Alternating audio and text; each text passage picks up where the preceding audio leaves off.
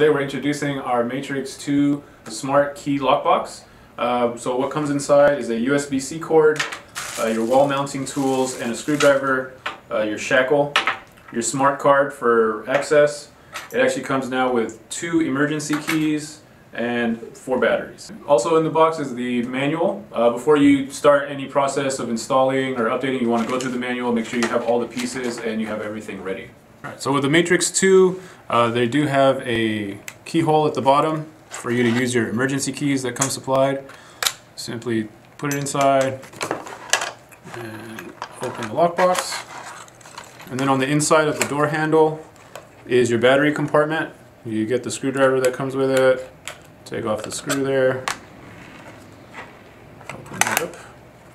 And you put your four batteries. Uh, in the manual, uh, you'll want to find the QR code and when you scan the QR code, this will take you to the LinkStyle app, so you'll be able to download it and get your lockbox added to the app. Okay, now that you've downloaded your LinkStyle app, you've set your home screen, and you can see here now it's time to add your devices. Your next step will be to reset your Matrix lockbox so that you have it in pairing mode. Uh, to do this, you have to just open it. If it locked on you, again, you do have your emergency keys.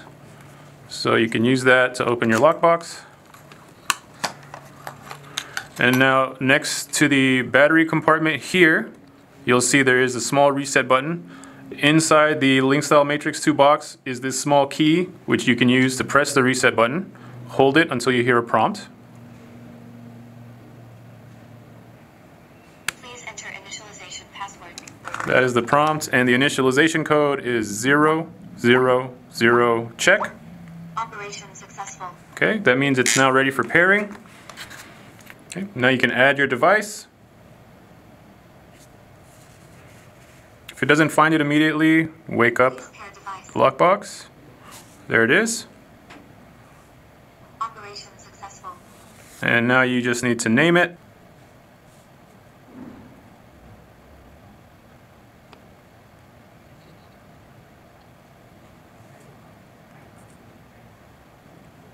Now the Matrix 2 can connect to your phone via Bluetooth.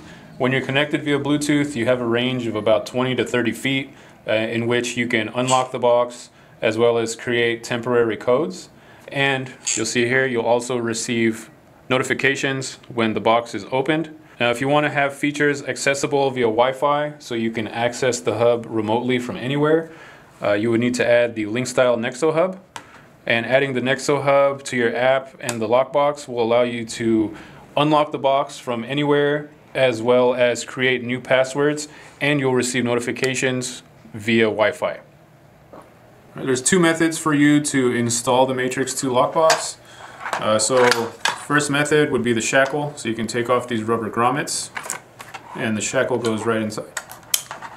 To remove the shackle, you push up on this trigger here and that comes right out. It also comes with these wall mounting tools. So if you prefer to stick it on the wall, you can definitely do that. You can just take that out. And it does have these grommets again to prevent any water from going inside.